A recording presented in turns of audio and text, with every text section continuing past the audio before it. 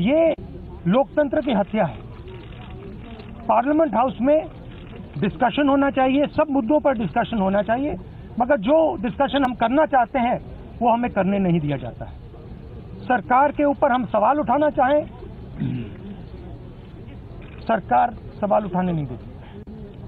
तीन चार ऐसे मुद्दे हैं जो सरकार मतलब नाम तक लेने, नहीं देती।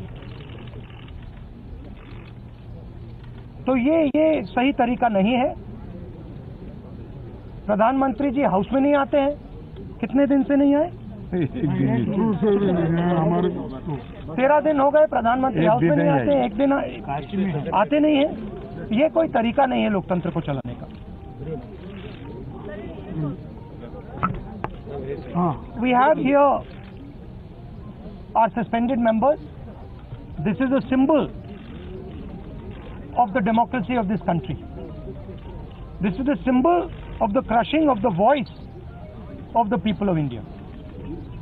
They've been suspended now for two weeks. They are sitting outside. Their voice has been crushed. They've done nothing wrong.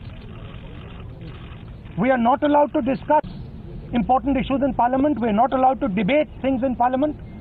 Bill after bill after bill after bill is just passed in the din. This is not the way to run Parliament. The Prime Minister doesn't come to the House. And any time we want to raise an issue of national importance, we are just uh, not allowed to do so. So It's a very unfortunate killing of democracy that is taking place.